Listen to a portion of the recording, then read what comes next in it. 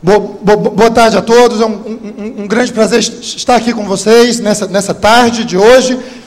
Não, vocês já imaginaram se eu começasse desse jeito? Não, essa, não esse aqui pensou, pô, o cara é gago, meu irmão. Ferrou! Vai passar uma hora com o cara gago aqui, meu irmão. Não, ferrou legal. Não, você pensou, não. Pensou, ele baixou a cabeça e disse, puta merda. Tem nada disso. Esquece. Tem nada disso. Você é para dar um susto mesmo. Vocês almoçaram, gente. Sei lá o que é que comeram. Alguém comeu ovo? Não, né? Hã? Por favor, se contenha, tá?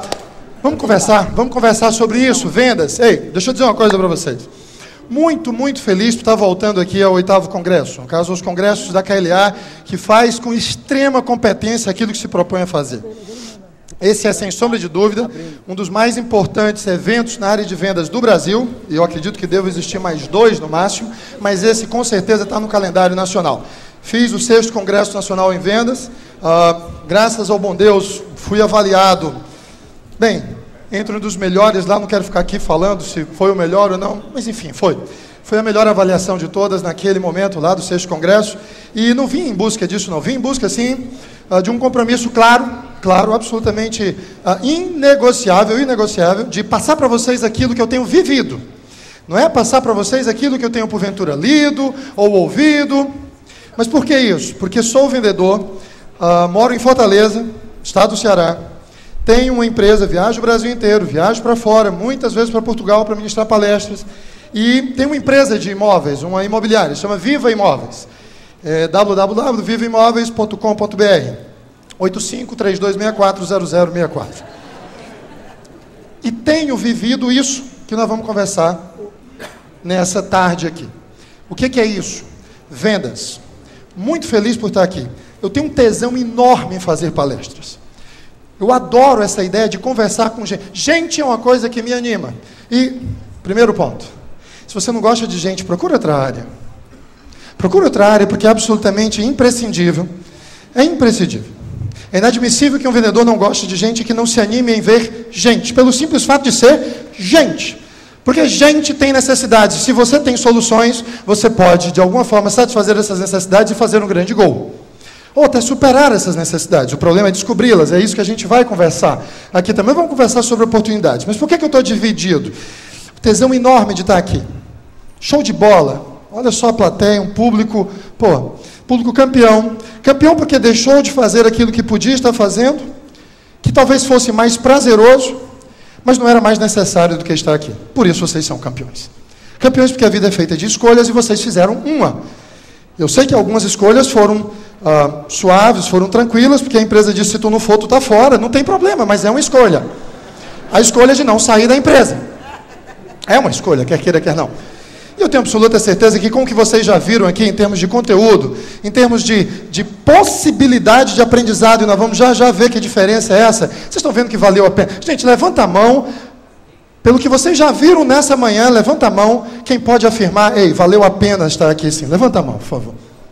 Esse é o resultado. Mas dividido por quê? Porque nesse exato momento a minha inquietude é enorme, porque lá em Fortaleza os nossos estandes de venda estão recebendo clientes, vários clientes. E nós estamos lá com quatro mega lançamentos, e esses quatro mega lançamentos estão estourando, estão bombando, e os clientes estão chegando. E vocês podem imaginar o que é estar fora do show. Daquele show.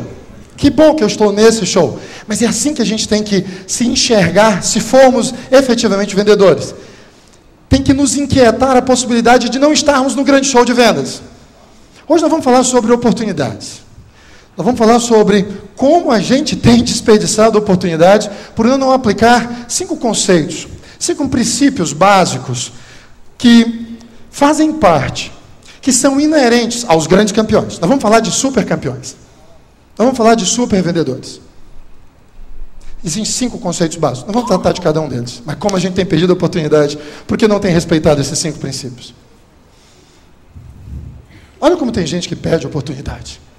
Sabe aqueles, aquelas gôndolas, aquelas balanças externas que ficam nos prédios para limpeza de vidros, limpeza de fachadas de vidros? Tinham dois rapazes que estavam uh, em uma dessas balanças, em um desses andaimes que elevam, enfim, fazendo limpeza, 22 andar, fazendo limpeza de vidro. Isso era mais ou menos 11 e meia, um deles começou a sentir mal. Mas eu estou sentindo uma coisa estranha. dizendo para o outro. Sobre o que está acontecendo? Isso é uma dor. É uma dor que está começando aqui, mas eu estou vendo que ela está se encaminhando para outra parte. Eu não sei se eu vou aguentar, não. E ele começou a sentir essa dor, essa dor forte. E disse, mas peraí, olha, não sei se vai dar tempo a gente descer isso aqui. Eu acho que não vai dar, não. Eu acho que eu vou ter que fazer aqui mesmo. E disse, segura, cruza a perna. Que é uma técnica boa essa, né? De dar uma cruzadinha na perna. Cruza a perna e segura. Vê se você consegue segurar. Ele disse, não vai dar tempo, eu vou ter que fazer. Não faça isso, pode ser que caia na cabeça de alguém lá embaixo, um cliente que está passando. Pelo amor de Deus, não faça isso. Mas o que, que você quer que eu faça? Bate, bate, bate aí na janela. Pode ser que apareça alguém. Ele bateu na janela. Apareceu uma senhora, ele explicou a situação, só deu tempo dele entrar. Ele entrou lá no apartamento, no que ele entrou no apartamento, a balança externa, lá o cabo partiu e veio ao chão com o colega dele. Morte imediata. Ah, gente, que tristeza. O rapaz morreu. O rapaz morreu. No outro dia, na empresa, velório, o rapaz lá, o caixão, estendido no meio lá do auditório, lá de um, de um salão grande que tem na empresa. Todas as pessoas, os colegas, os companheiros, de trabalho, estar reunidos, aquele clima de consternação, aquele clima de tristeza. O rapaz lá que tinha falecido, a viúva, dois filhos, dois filhos pequenos, dois filhos pequenos. O rapaz que tinha se salvado, estava ali também ao lado, com a esposa dele, inclusive. E o presidente da empresa pediu a palavra. E o presidente da empresa disse: Meus amigos, os companheiros de trabalho, colaboradores dessa empresa, esse é um momento de tristeza. Esse é um momento que o nosso coração está triste. O coração está partido, não é só pela, pela ida, pela perda do Chiquinho. Chiquinho era um grande trabalhador, mas pela, pela, pela perda de um amigo. Chiquinho era um amigo. Se o presidente da empresa fala, mas nós não vamos nos eximir das nossas responsabilidades. Ah, isso nós, todo mundo ouvindo. A viúva ouvindo, duas crianças. O amigo dele, que tinha se salvado ali com a esposa do lado. Nós não vamos das costas dessa família. Nós já nos reunimos ontem à noite mesmo, diretoria, e tomamos a decisão, isso o presidente falando, que nós vamos sustentar essa família. Nós vamos pagar a escola e a universidade dessas duas crianças. Isso todo mundo ouvindo, a viúva. Mas não só isso. Nós também nós já definimos e decidimos isso em diretoria, que nós vamos dar uma pensão vitalícia para essa senhora de dois mil reais por mês, e isso vai corrigindo. Isso, a viúva ouvindo os dois filhos. O rapaz tinha salvado a esposa dele do lado. Mas não só isso, o presidente continuou. Nós também já tomamos a decisão de fazer uma reforma completa na casa deles. A casa está terrível, a casa está horrível. Isso a esposa do cara não aguentou, deu uma cotovelada e o, e o bonitinho aqui cagando, né, meu filho? Oh, coisa linda. Hora dessa. É assim que elas nos veem. Como grande oportunidade. Não, gente, estou brincando. Absolutamente, não é nada disso. Hoje é o dia delas. Ei, eu acho que já foi feito aqui alguma homenagem às mulheres, apesar de algumas não gostarem disso, porque normalmente se faz homenagem para minorias, marginalizados, excluídos e tudo. Ah, e vocês não são. Podem até tentar fazer de vocês isso, mas é inegável, uma coisa que eu aprendi com o Xinha Chico, com o Roberto, e ele dizendo que o grande problema ah, da falta de emprego no mercado, no mundo, não tem nada a ver com globalização, não tem nada a ver com informatização dos processos, né? tem a ver com a mulherização do mercado de trabalho. Olha que coisa linda que o Roberto disse. E por uma simples razão. Porque quando elas entram e ocupam um posto de trabalho, nunca mais vai ser ocupado por um homem. Nunca porque elas são muito mais competentes, diligentes, honestas, disciplinadas, comprometidas. Elas merecem toda a homenagem. Por isso, os homens se levantem e dêem uma salva de palmas para as mulheres agora, por favor, numa justa homenagem. Numa justa homenagem. É isso mesmo. Mulheres, mulheres, são bênçãos, mulheres são dádivas, são dádivas. Mulheres vieram ao mundo com duas grandes missões: fazer raiva e fazer falta, ou falta que faz, putz, grilo, é coisa impressionante. Impressionante. Gente, vamos começar, vamos começar esse show. Vamos começar esse show. E nós temos que começar esse show da forma certa. Deixa o áudio bem alto, que eu quero envolver. Isso é um ambiente de vendas, e como sendo um ambiente de vendas, a gente tem que vivenciá-lo, viver. Isso aqui cheira a dinheiro, isso aqui cheira a sucesso, cheira a conquista, cheira a vitórias. Então, projeta o áudio aí, e é isso agora que a gente vai fazer: entrar no clima de vendas. Vamos lá, vamos lá, vamos entrar no clima.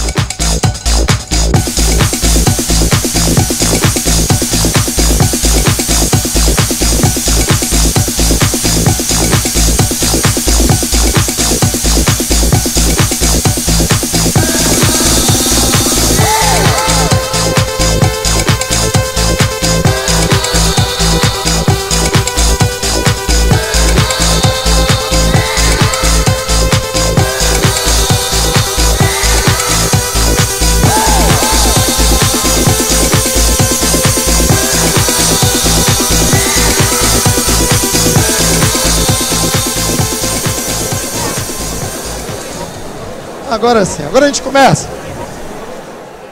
Agora a gente começa esse negócio aqui.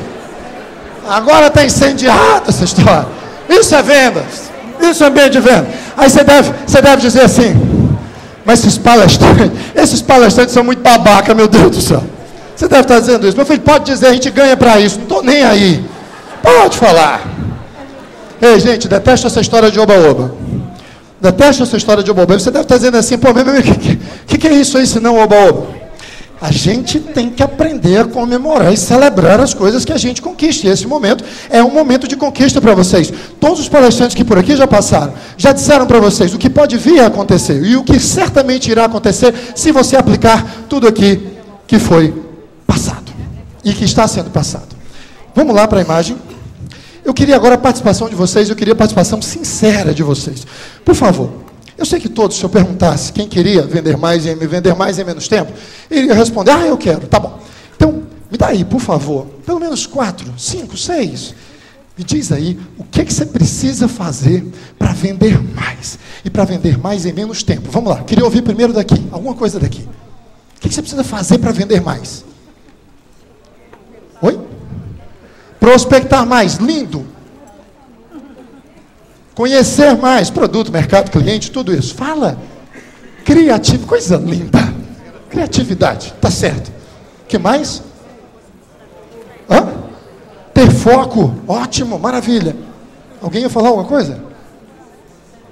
Conhecer melhor o cliente, conhecer melhor as necessidades. Planejamento, inovação junto com criatividade são duas coisas distintas. Mais alguma coisa? Bom atendimento, atendimento é muito importante. Não é tudo, mas é muito importante. É um bom começo. Quê? O que, que você precisa fazer mais? Mais duas coisinhas, só duas. Oi? Cuidar da aparência, isso. Ótimo, maravilha. Organizar, ser organizado. E se organizar melhor. Gostar, ter diferenciais. Gente, concorda que se eu ficasse aqui, com certeza vocês iam preencher uma lista interminável? Uma lista interminável? Pois escutem isso aqui. Escutem isso. Alguém lembra dessa música do Beto Guedes? Ela diz assim: A lição sabemos de cor, só nos resta aprender juntos outra vez, sol de primavera. O que, que essa música, o que, que esse trecho dessa música do Beto Guedes, que ele fez em parceria com outro compositor, quer nos ensinar? A lição sabemos de cor. Só nos resta. Que diferença existe entre essas duas coisas? Entre saber algo e aprendê-lo. Hã? É simples. Vocês vão sair daqui. Quantos, quantos, de vocês acham que vão aprender muito? Quem, levanta a mão quem acha que vai aprender pacas aqui nessa tarde. Já aprendeu pela manhã e vai aprender muito no congresso inteiro. Levanta a mão quem acha que vai aprender muito aqui. Deixa eu defender para vocês um conceito, uma ideia. Eu acho que vocês não vão aprender coisa alguma. Coisa alguma. Não pela incapacidade de vocês, porque vocês são capazes, são inteligentes, são determinados, são desprendidos, estão motivados. Mas, gente, quando é que a gente realmente aprende a fazer alguma coisa? Eu pergunto para vocês: quantas vezes nós já usamos as nossas gavetinhas mentais, gavetas mentais, para arquivar as palestras que nós já assistimos? Quantas e quantas vezes?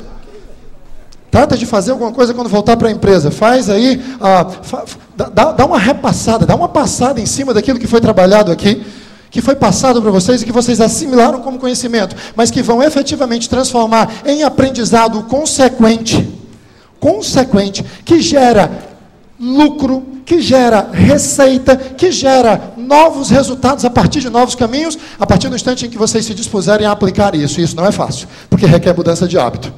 Esse é o ponto. Vamos lá então. Olha o que, é que essa frase tem a dizer do Len Rogers. Eu gosto dessa frase. É um consultor inglês. E ele diz que não importa muito o que você sabe, não importa muito o que você pensa em fazer, mas, pô, como importa o que você faz a respeito do que você pensa? Como isso faz a diferença? Ah, tem um momento até que, na Bíblia, lá eu não sou proselitista, detesto essa história de religião, gosto muito de espiritualidade, mas religião separa as pessoas, eu não vou em momento algum aqui ficar tratando disso, mas temos que buscar sabedoria onde há sabedoria. Em um determinado momento, lá um evangelista, ele, ele registra que Jesus teria dito assim, eu acredito que ele disse, mas isso não vem ao caso. Mas ele disse assim: Se sabeis todas essas coisas, bem-aventurados são os que praticam. Precisa dizer mais alguma coisa? Se sabeis todas essas coisas, ok, ótimo, parabéns para você. Mas bem-aventurados são aqueles que praticam. Ei, nós temos que aplicar, nós temos que sair daqui com o compromisso de aplicar tudo isso. Precisamos abrir os nossos olhos para a realidade, para a nova realidade de mercado. E eu quero ajudar vocês aqui nesse instante, porque alguém na minha vida já me ajudou a abrir os meus olhos para enxergar, sem nuvens, sem cortinas de fumaça, uh, enxergar de uma forma transparente e clara qual a nova realidade dos nossos mercados do nosso dia. E eu quero fazer isso hoje aqui com vocês, a partir de uma dinâmica desenvolvida por psicólogos da Universidade de Harvard, nos Estados Unidos, lá em Boston, Massachusetts. E eles desenvolveram uma, uma dinâmica show de bola, fantástica, campeã, que aplicaram comigo e em mim funcionou. E Paulo, o que, é que a gente consegue, o que, é que a gente conquista com essa dinâmica? O que acontece após aplicarmos essa dinâmica? É simples, a gente passa a enxergar melhor a vida, porque a gente passa a se desprender de paradigmas, passa a se desprender de uma série de supostas verdades que foram estabelecidas e estão assumidas como sendo absolutas. E a gente precisa se desprender delas, porque o mundo está em constante, em constante mudança, inegociavelmente.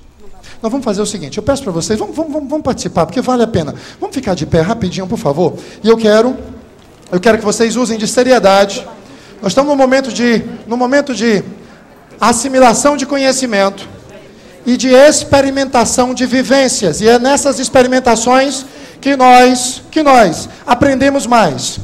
E por favor, levem isso para as empresas de vocês, porque em muitas das empresas que aqui estão representadas, com certeza o que está faltando é isso: que os profissionais, os vendedores, gerentes, coordenadores, diretorias, abram os olhos para o novo momento que a gente está vivendo, para a realidade.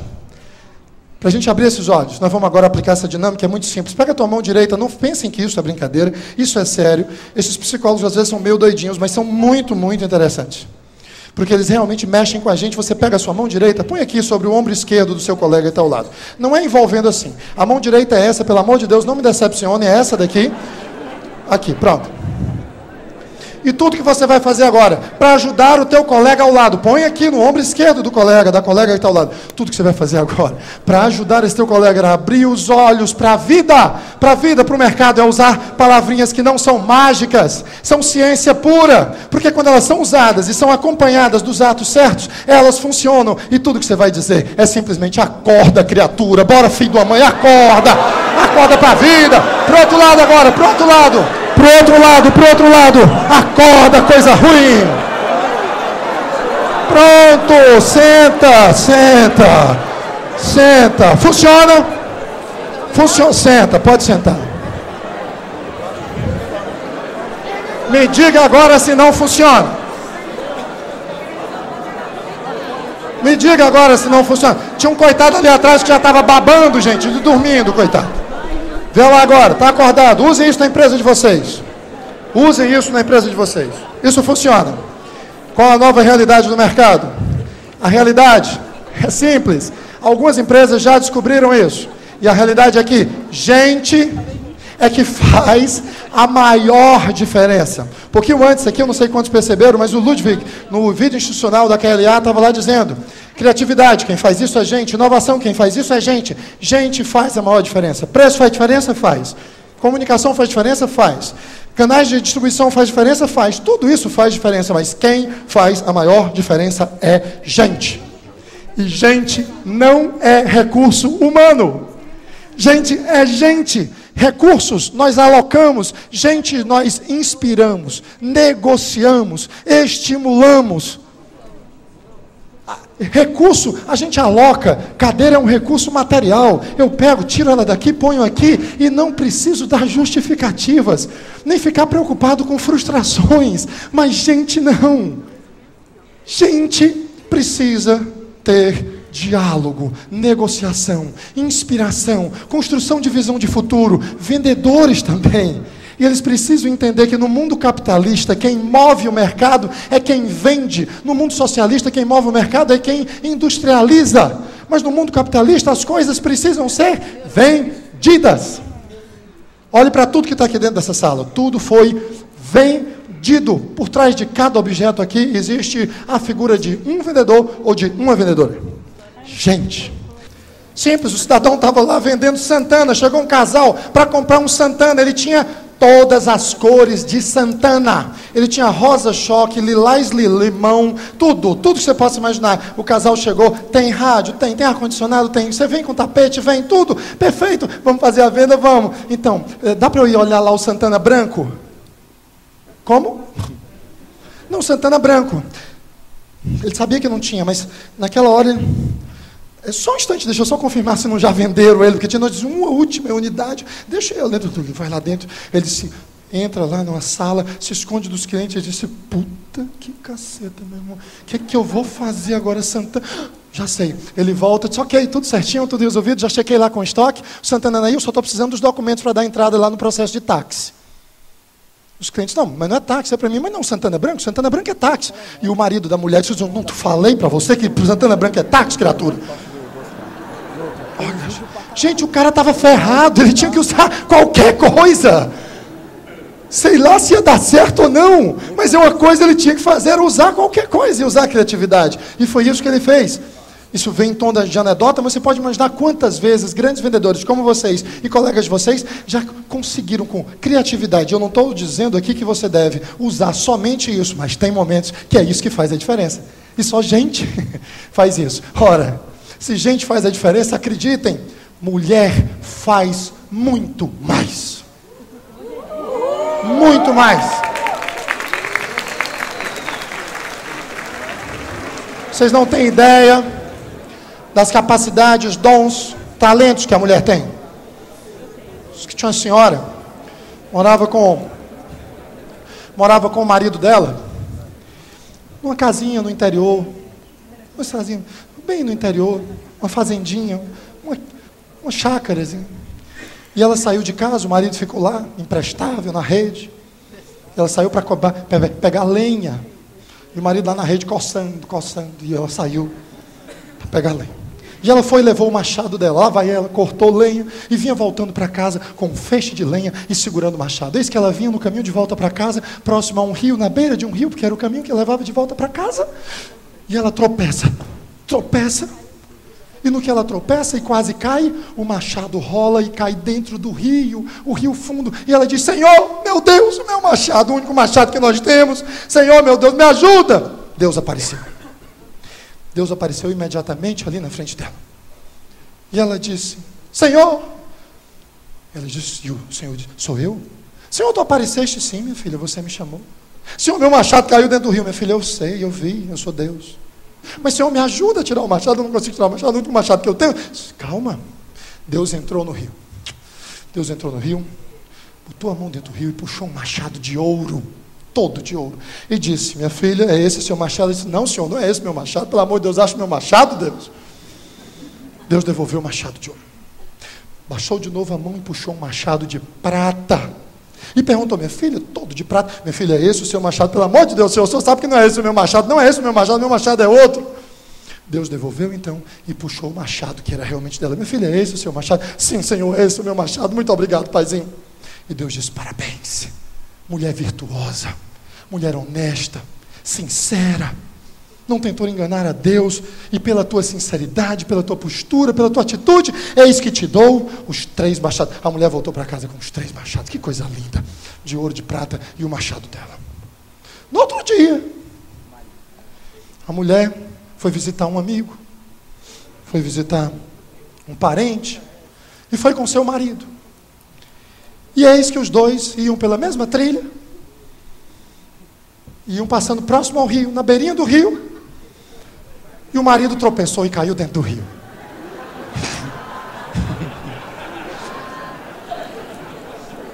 tropeçou e caiu dentro do rio. E a mulher rapidamente, Senhor, meu Deus, meu marido caiu dentro do rio, Senhor, me ajuda. E Deus apareceu. Meu filho, estou aqui. Senhor, tu já vieste.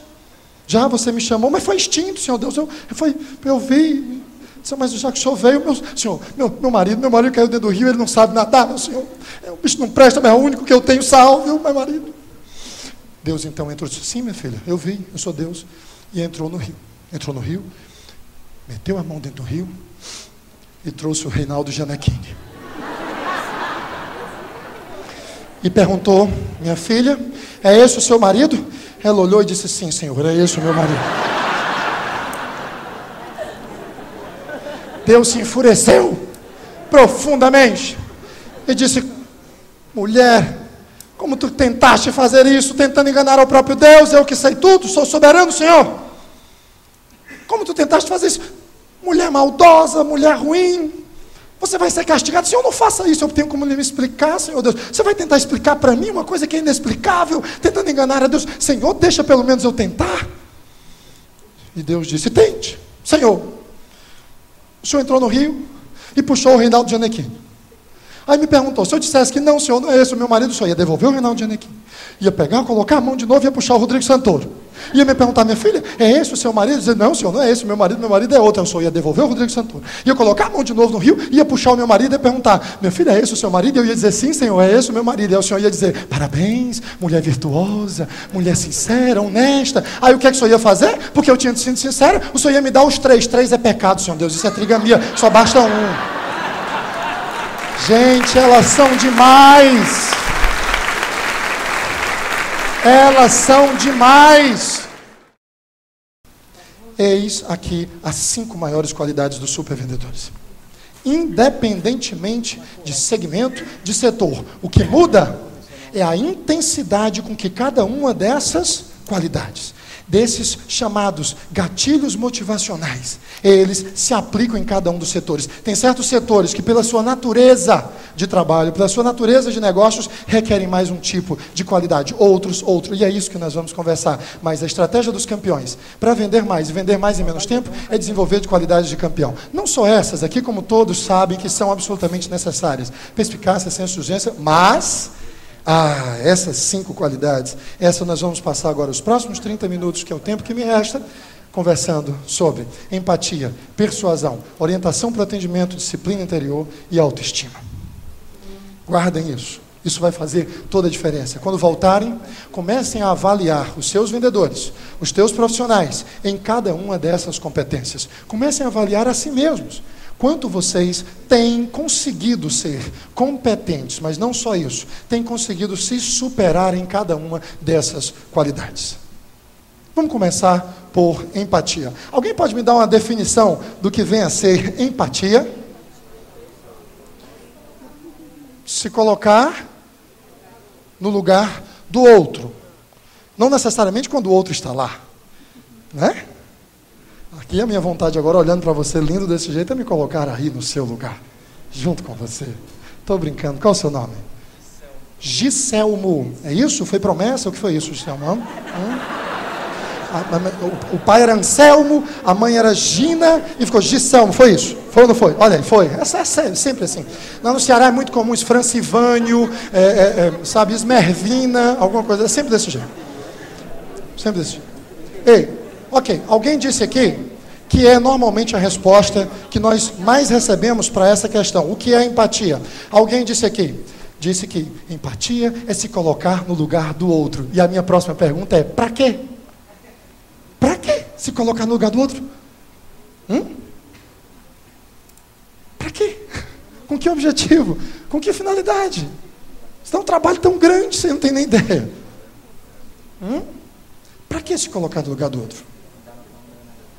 Simples. Para tentar enxergar o mundo como ele enxerga.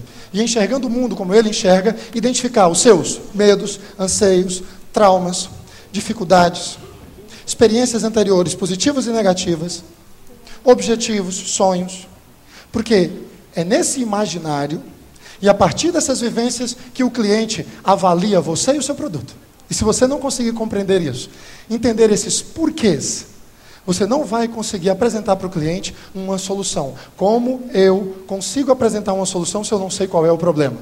Empatia é, sem sombra de dúvida, pelo menos dentro da minha perspectiva, a qualidade mais importante em todo e qualquer vendedor, seja ele qual for, de qualquer natureza. Empatia. Empatia. Paulo, dá para explicar melhor o que vem a ser empatia? É focar não no cliente, mas é focar no foco da atenção dele.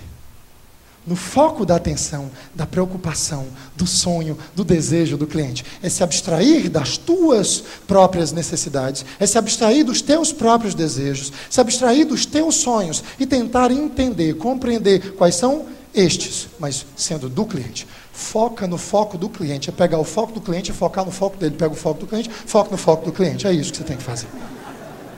Tem, tem gente que é especialista em focar no foco do médico, por exemplo, muitos médicos são especialistas em focar. Por exemplo, proctologista é especialista em focar só no foco do cliente. Médicos são excelentes, em, são excelentes em empatia. Uma das primeiras coisas que o médico faz, depois de nos cumprimentar, saudar, dar um bom dia, boa tarde ou boa noite a nós que chegamos em seus consultórios, é uma perguntinha mágica que é: qual é a perguntinha? O que é que você sente? O que é que ele traz aqui de volta? Onde é a dor dessa vez? Que, que você está sentindo? Qualquer coisa dessa natureza. De tal forma que o médico. Não tem. Não, você já imaginou chegar em um consultório, aí você chega, o médico diz, por favor, se sente. Quando você ah, vai falando com o doutor, é o seguinte, nem precisa falar, pelo amor de Deus, eu já estou vendo aqui na sua cara. Já estou vendo no seu rosto, eu vejo pelo seu semblante que realmente o que lhe assola, o que lhe aflige, é sem sombra de dúvida uma tremenda de uma virose ou qualquer coisa desse tipo. Agora faça o seguinte, diante disso, não tem outra coisa a fazer senão você aqui seguir a minha prescrição, e essa é a prescrição, tome aqui essa receita, por favor, daqui a um mês você volte. O que, que você faz com esse médico? Médico? Não volta mais. E o que você acha que a gente deve fazer com o vendedor que diz: tem uma solução perfeita para o senhor, mesmo sem conhecê-lo? Eu tenho a solução perfeita para o senhor. Só porque o senhor chegou aqui. Não, aquele vendedor crocodilo que está é tiranossáurico. Tiranossáurico rex. Esse vendedor é aquele que diz, o cliente pergunta, e aí como é que estão as coisas? E ele diz, ah, muito melhor agora que o senhor chegou. Putz grilo. Isso é das antas é antigo e absolutamente obsoleto. Não é assim, não é por aí. O médico foca. O médico foca nas necessidades do cliente e tenta entender o que se passa com ele, no ambiente dele, na perspectiva dele, nas vivências dele. Se você diz que tem uma dor de cabeça, ele faz e vasculha. Se for bom, o médico o profissional, ele vasculha tudo. E vasculha da seguinte forma: quando você sente? Está associado a algum outro tipo de atividade? Desde quando você vem sentindo? Tem alguém na família que sente assim também? Já teve isso antes? Está é, relacionado a algum tipo de alimentação? O que você sente mais como sintoma colateral por conta dessa dor de cabeça? Tudo na perspectiva do cliente. Óbvio que você não vai fazer isso ah, com um cliente. Isso não, você não pode estabelecer com ele no processo de venda, da entrevista, um interrogatório. A habilidade, e esse não é, essa não é uma palestra para nós falarmos sobre técnicas e sim sobre princípios. A habilidade está em conseguir extrair tudo isso dentro de uma conversa franca, transparente, solta e amiga, e aí sim existe uma série de técnicas para isso. Mas o objetivo é como é que eu consigo perfilar o meu cliente para entendê-lo pela perspectiva dele e não pela minha entender os traumas dele, o que ele já vivenciou, por que, que ele tem medo de comprar e de se arriscar, por que, que é tão difícil para ele assinar esse cheque, alguma coisa já aconteceu. Eu tenho que descobrir para poder conseguir tranquilizá-lo.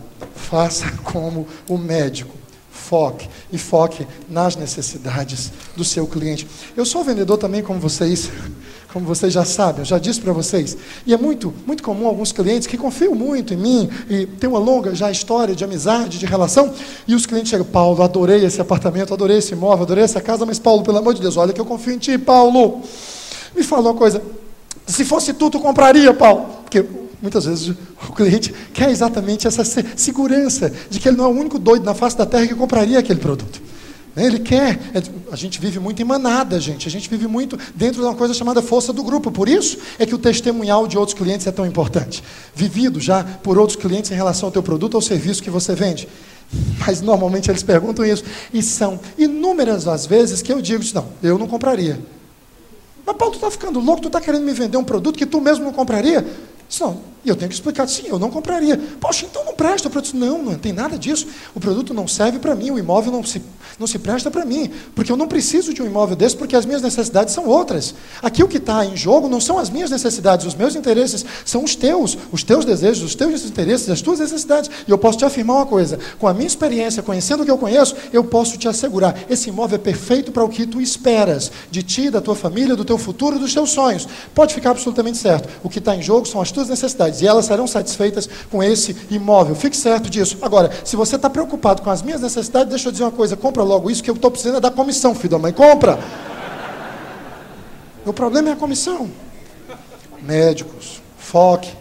Foque no foco das necessidades. Empatia é isso. Empatia é olhar pelos olhos dos outros, é a capacidade de perceber a realidade, as reações, ler essas dicas subliminares, entender e entender. Mas muito cuidado Muito cuidado, porque empatia não tem nada a ver com perder objetividade, nem lealdade, nem significa concordar sempre com o cliente. Absorva, colha a informação. Não significa sentir a dor do outro. Ai, tem que ter vendedor que diz, ai meu Deus do céu, realmente a sua situação é tão difícil, pelo amor de Deus, não compre não. Ei, que isso? Ah, tenta contornar, encontrar uma forma de comprar. Não, não significa nem compaixão. Compaixão é coisa de família, gente. Empatia é entender, perceber o outro. Ei, e aquelas pessoas que são extremamente empáticas, mas geram feedback, mas não conseguem fechar? Entra uma outra excepcional qualidade. A segunda maior qualidade, segundo, pelo menos dentro da minha perspectiva, como eu vejo o processo de vendas. Deixa eu dizer uma coisa para vocês. Nós estamos na era do conhecimento? Estamos na era do conhecimento, sem sombra de dúvida. Mas olha, nada como um argumento. Nada como um argumento de vendas.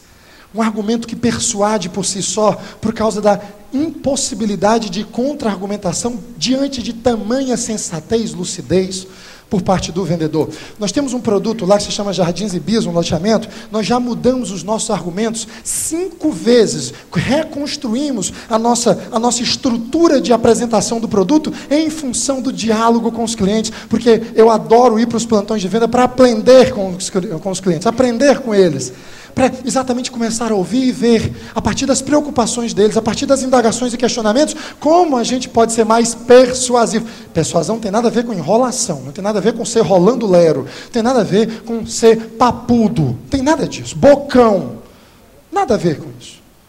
Enrolação é outra coisa, persuadir não tem nada a ver com enrolar.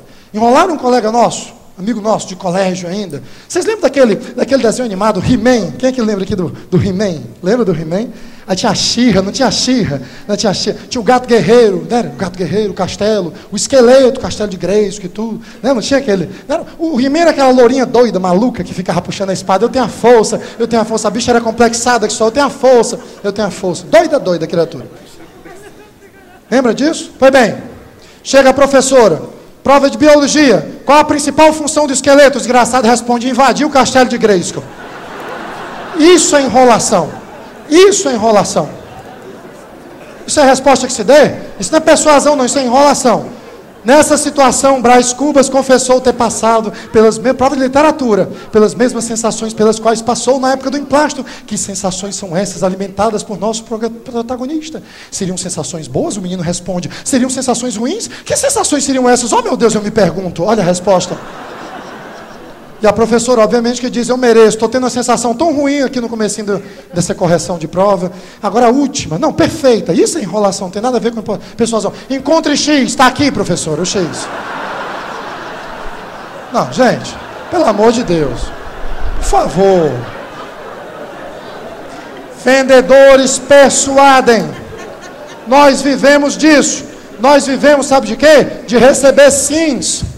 Sabe o que é que nos, nos, nos motiva? Sabe o que é que nos alimenta? Dá um oxigênio na gente? Quando o cliente chega e diz assim: É verdade, você tem razão. Não, me diga, se você é vendedor, se você não gosta de ouvir isso. É verdade, você tem razão, faz sentido o que você está dizendo. Gente, isso é. Eu me molho todo quando ouço um negócio desse. É sério, isso é maravilhoso, isso é fantástico. É disso que a gente vive. Mas cuidado, alta persuasão não tem nada a ver com ser agressivo, passar por cima do cliente ser simplesmente insensível às necessidades, aos anseios, às dúvidas, os traumas do cliente. Ignora, não tem nada a ver com ignorar os sentimentos dos clientes. Por isso é que nós precisamos ser empáticos. Terceiro, atendimento. Nós já passamos por empatia, persuasão e atendimento. Estamos caminhando para final. Atendimento todos precisamos ter. Alguns mercados mais intenso, principalmente naqueles, por exemplo, venda de salão, venda de salão de vendas tá? Onde você tem lá o salão de vendas. Você precisa ter muito mais atendimento. Agora, normalmente a gente não consegue abrir mercados sendo extremamente, extremamente ah, ah, desenvolvido somente em atendimento. Você precisa ser muito persuasivo. Mas atendimento é extremamente importante. Eu vou passar essa daqui. Atendimento. As pessoas que elas têm foco no atendimento e que elas gostam de atender, e todos nós gostamos. Eu, normalmente, eu, eu sou mais matador, caçador do que fazendeiro. Eu não sou muito, eu não jamais me daria bem, por exemplo, em, em negócios que ficam precisando gerenciar contas. Vendedores de imóveis, assim como vendedores de carros, precisam ser extremamente persuasivos, porque o cara sai do teu stand, entra na outra e compra, tchau, adeus. Você não vai ter tempo de pegar novamente. Uma vez que ele comprou, talvez ele só compre de novo daqui a cinco anos, seis anos, pode ser que compre antes, mas é uma venda que foi perdida. Não é algo que, não, não deu nessa, você recupera, ou então você consegue ah, ah, entrar no cliente depois, no outro instante. Não, não é assim. Normalmente, pessoas que são orientadas para o atendimento, nós precisamos todos de orientação para o atendimento, mesmo aqueles que são caçadores, como é o meu estilo. O meu estilo é mais de caçador do que de fazendeiro. Gerentes de conta de banco, por exemplo, gerentes de clientes em bancos ou em agências de propaganda são extremamente fazendeiros e ficam alimentando e podando e regando. São fazendeiros. Ah, vendedores de carros, de imóveis e de alguns outros mercados, seguros, por exemplo. Não, tem que ser muito mais persuasivos. Sempre todos empáticos mas alguns precisam desenvolver mais essa habilidade, essa orientação para atender bem. Eles assistem, deixa o cliente um pouco mais à vontade, não dá aquela, não dá aquela acuada ali no canto de parede. Sua principal motivação é servir, mas muito cuidado, muito cuidado, porque quem está muito focado, orientado para o atendimento, normalmente não tem capacidade de abrir mercados, tá certo? Introduzir novas linhas. Vender é muito mais do que simplesmente causar uma boa impressão. Por exemplo, nessa questão dos relacionamentos, ah, dos, do atendimento, construir construir relacionamentos é fundamental. Disciplina. Eu nunca vi alguém alcançar grandes coisas na vida sem desenvolver essa habilidade, essa competência, ou esse talento, ou essa virtude, como você queira chamar, chamada disciplina. Disciplina, em síntese, é aquele que segue aquilo que se propõe a fazer. Disciplina. Tá? E tem muitos deles que são muito obedientes a isso, a essas regras externas. Ah, grandes vendedores, super vendedores, não. Esses têm um controle, eles têm uma bússola interior. Eles são autodirigidos, tá? eles são firmes, eles são muitas vezes inflexíveis. Eles atingem metas, mas não é para outra coisa, não. É porque eles sabem que os resultados deles expressam quem eles são. Porque em vendas, acredite, em vendas, nós somos o que nós produzimos. E se nós não produzimos nada, sabe quem somos? Nada. É cruel, mas é a verdade. Nós somos o que nós produzimos, nós somos cobrados, mas vendedores campeões não. Eles são autodirigidos, eles têm disciplina, disciplina interior, eles são, eles têm esse autocontrole, gera planejamento, organização. Até porque, vejam só, eles não podem esperar, eles fazem. Eles reunindo esse alto grau de persuasão, com esse senso de responsabilidade, eles começam a exigir-se mais. E isso tudo leva o vendedor a fazer e completar o que tem que ser feito. Deixa eu dizer uma coisa para você, eu adoro vender, sou tarado por vendas, sou louco por vendas, mas tem uma série de tarefas e atividades em vendas que são um saco. Levanta a mão quem que gosta de preencher relatório, quem que gosta de fazer a agenda da semana seguinte na sexta-feira. É um saco, mas tem que ser feito.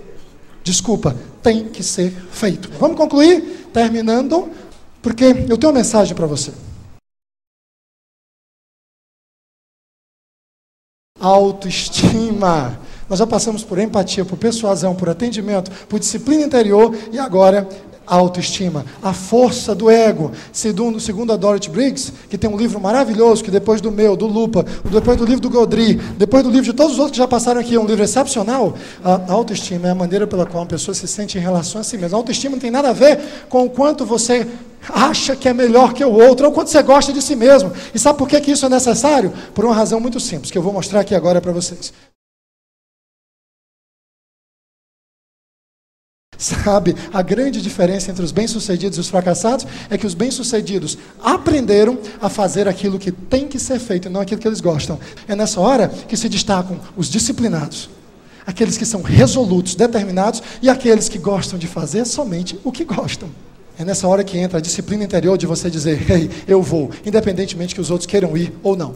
Mas Pessoas altamente disciplinadas não aguentam excesso de supervisão externa. Supervisores, coordenadores, gerentes, deixem essas pessoas um pouco mais livres, porque elas já são orientadas. Você só precisa, muitas vezes, dar um certo equilíbrio nessa caminhada deles, porque muitas vezes eles passam por cima, porque são tão disciplinados e tão resolutos em conquistar, que às vezes perdem um pouco do senso da empatia e o senso do respeito ao outro. Minha mensagem final para vocês: você vai deixar o áudio, gente boa, um pouquinho baixo, só como BG.